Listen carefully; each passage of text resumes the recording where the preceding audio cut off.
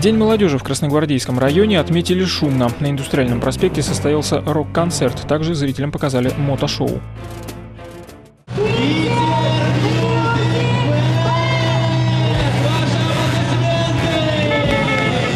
Выступление на подобных фестивалях для ночных волков – хорошая традиция. Питер Мюзик Бенд не стал исключением.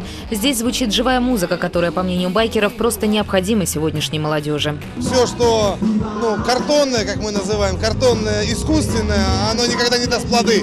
А живое, оно всегда живо, всегда дышит, всегда стремится, растет прорастают ростки, соответственно, идут результаты. Обязательно только живая музыка. Помимо больших мотоциклов, на празднике можно было встретить железных коней поменьше. Экстремалы-скутеристы приехали поздравить жителей Красногвардейского с Днем молодежи и порадовать зрителей своим мастерством.